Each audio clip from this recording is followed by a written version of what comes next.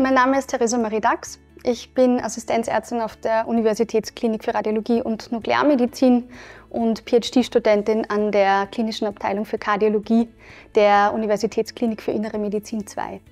In unserer Arbeit haben wir Patientinnen und Patienten mit Herzinsuffizienz mit erhaltener Auswurffraktion untersucht, die zusätzlich an einem Lungenhochdruck leiden.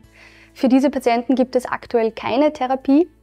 In unserer Studie haben wir uns nun den Wirkstoff Riozigoat angeschaut, der durch seine gefäßerweiternde Wirkung entlastend auf das systemische und das Lungengefäßbett wirken soll.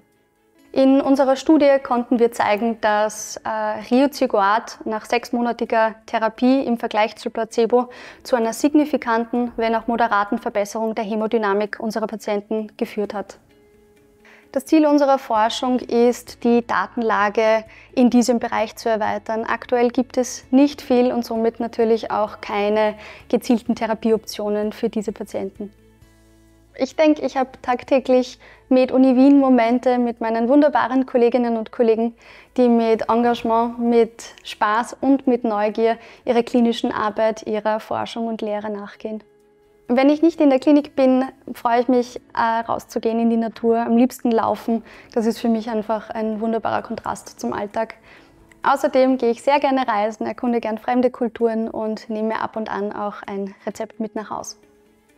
Ich hatte schon in der Schule das Problem, dass mich sehr viele Dinge interessieren, äh, sodass ich recht froh war, mit der Medizin einen so vielseitigen Beruf zwischen Menschlichkeit und Wissenschaft gefunden zu haben. Wenn es aber nichts mit der Medizin geworden wäre, dann denke ich, wäre ich gerne Autorin geworden oder auch Restaurantkritikerin mit Schwerpunkt Kaiserschmarrn.